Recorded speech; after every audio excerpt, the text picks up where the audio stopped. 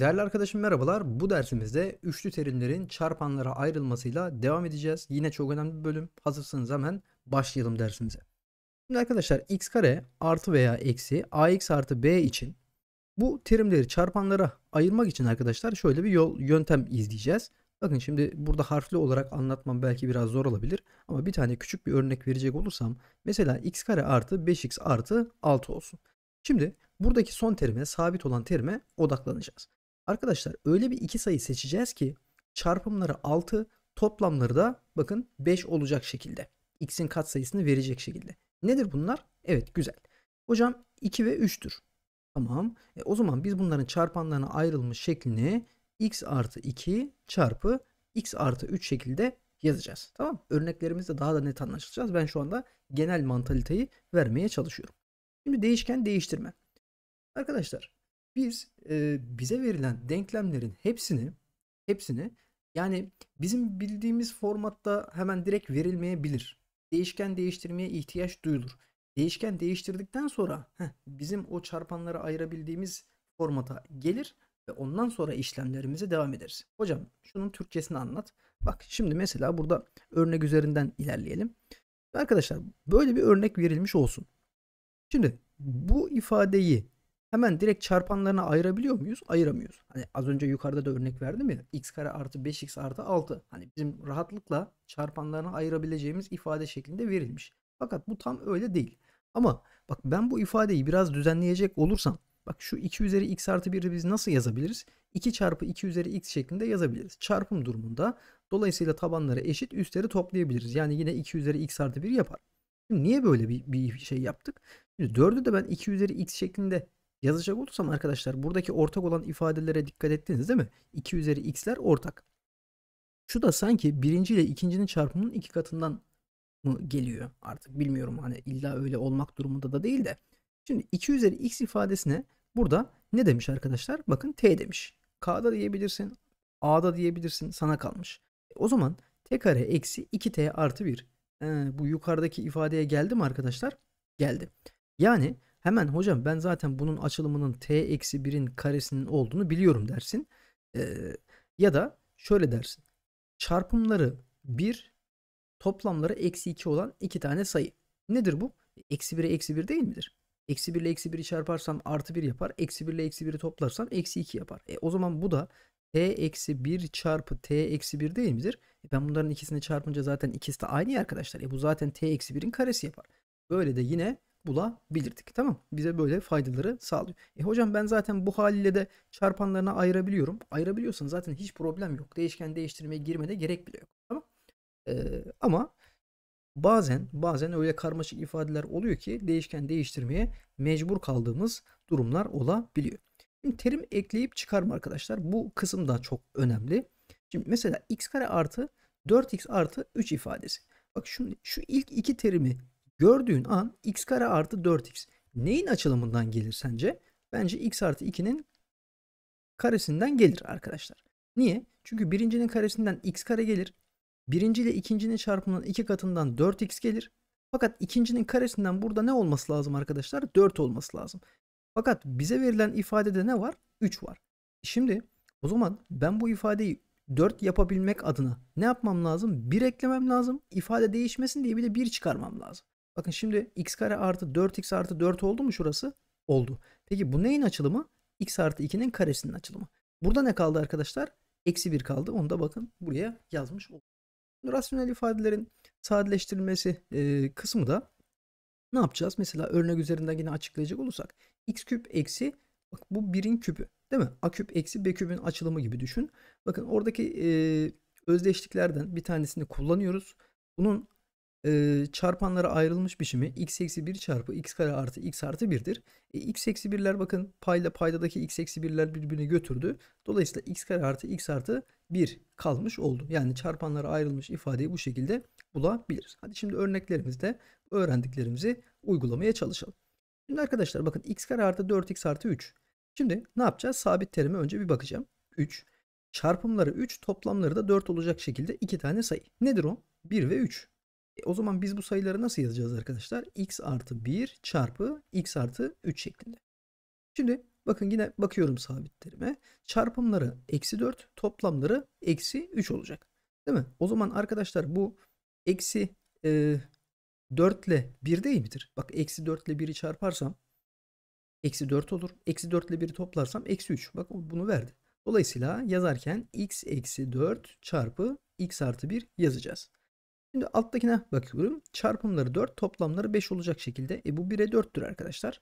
Dolayısıyla x artı 1 çarpı x artı 4 şeklinde yazmış olduk. Hemen ikinci örneğe bakıyorum. Bakın bu defa x karenin katsayısı birden farklı. Yukarıda 1'di arkadaşlar. 1 olduğu zaman daha kolaydı sanki değil mi? O yüzden 2 olduğu zaman bakın şöyle yapalım. Böyle yapacağız. 2x kare artı 3x eksi 9 diyelim. E şimdi e hocam bu 2x kare neyle neyin çarpımından gelir? 2x ile x'in çarpımından. Şimdi bak ben öyle 9'u öyle bir çarpanlarına ayıracağım ki arkadaşlar. Şöyle yapacağım. Bak buradaki sayıyla çarpacağım. Çapraz şekilde çarpacağım. Ve bana ortanca terimi verecek. Bak şimdi ben şurayı 3 ve eksi 3 şeklinde yazmış olsam. 9'un çarpanları 3'e eksi 3 değil mi? Evet. Bak böyle yazdım. Peki çapraz şekilde çarptığım zaman ortanca terim yani e, 3x'i veriyor mu bana? Bak 2x ile 3'ü çarpsam 6x. x ile eksi 3'ü çarpsam eksi 3x. 6x eksi 3x'ten bak artı 3x geldi. Dolayısıyla bu şekilde yazacağım. Ama yazarken nasıl yazacağım? Düz yazacağım arkadaşlar.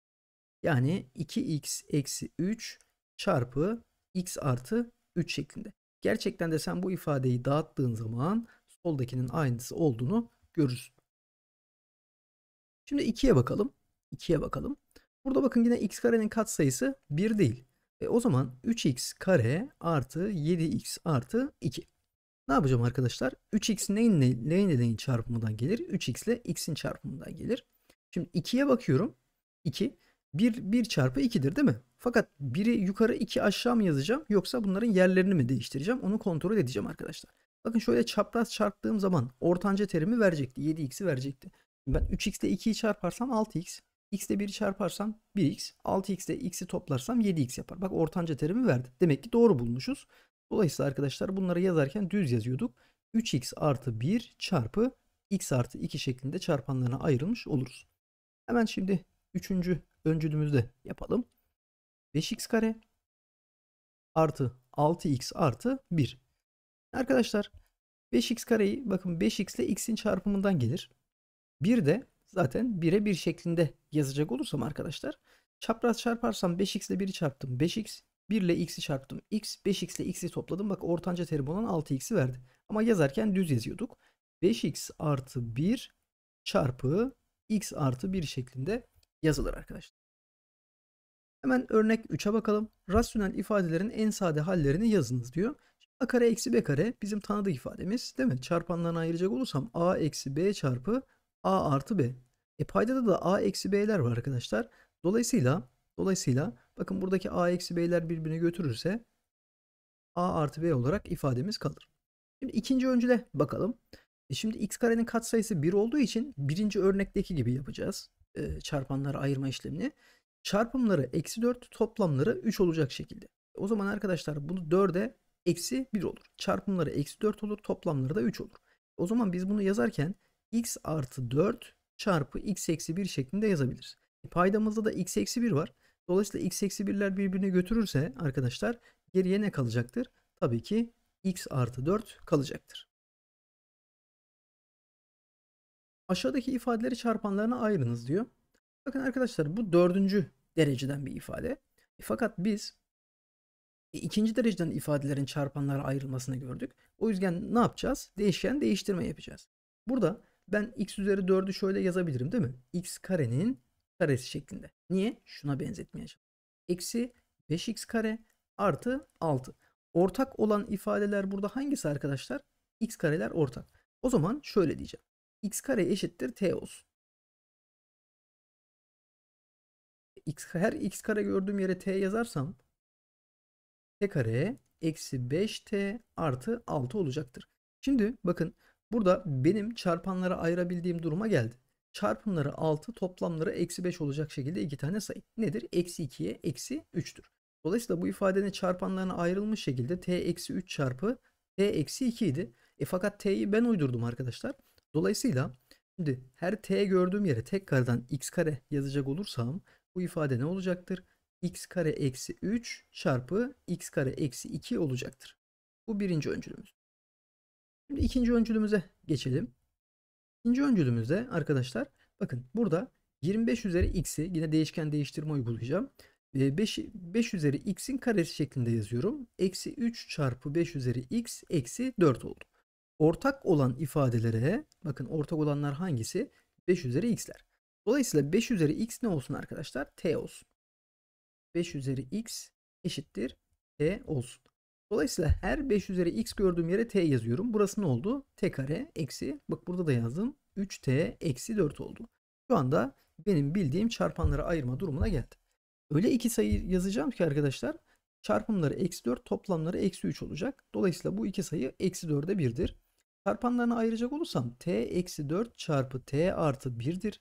Ama bu t'yi ben uydurdum arkadaşlar. Dolayısıyla her t gördüğüm yere tekrardan 5 üzeri x yazacak olursam 5 üzeri e, x eksi 4 çarpı 5 üzeri x artı 1 şeklinde çarpanlarına ayrılmış oluruz. Hemen üçüncü öncülümüze de bakalım.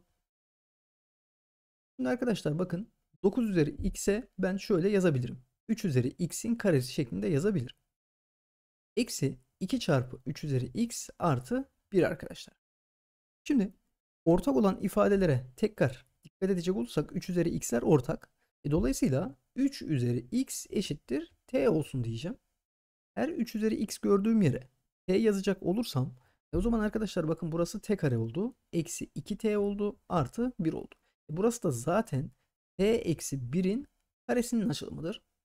E şimdi t'yi ben uydurmuştum. Her t gördüğüm yere e, 3 üzeri x yazacak olursam 3 üzeri x eksi 1'in karesi olarak cevabımız gelecektir. Beşinci örneğe bakalım. Rasyonel ifadelerin en sade hallerini yazınız diyor. Şimdi arkadaşlar bakın. x kare eksi 16'yı şöyle yazacağım. x eksi 4 çarpı x artı 4 şeklinde. Çünkü 16 dediğimiz 4'ün karesidir. a kare eksi b kare formatına gelmiş oldu. Paydamızda da çarpımları eksi 4 toplamları eksi 3 olacak şekilde iki tane sayı eksi 4'e 1'dir. Dolayısıyla biz bunu x eksi 4 çarpı x artı 1 olarak yazarız. x eksi 4'ler burada bakın birbirini götürecek.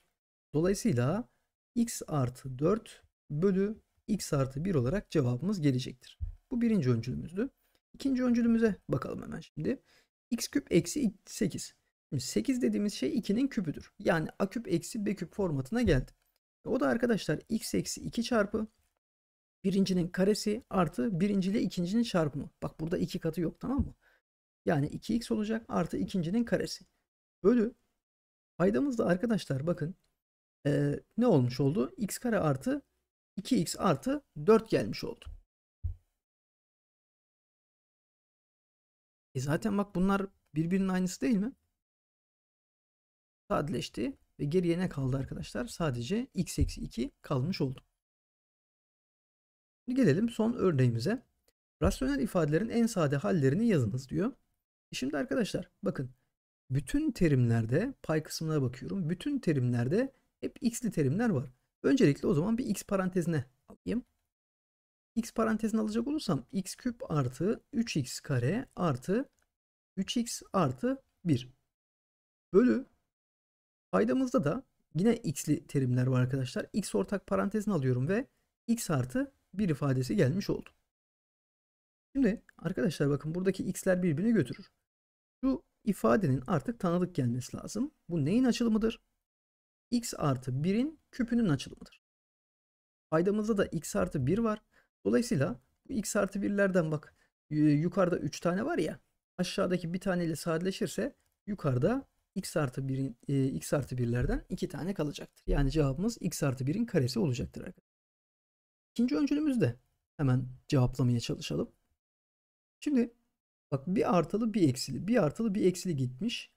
Burada katsayılarımız da 1, 3, 3, 1. Ha, demek ki bu küp açılımı arkadaşlar. Neyin açılımı bir artılı bir eksili gittiği için birinci terime bakıyorum.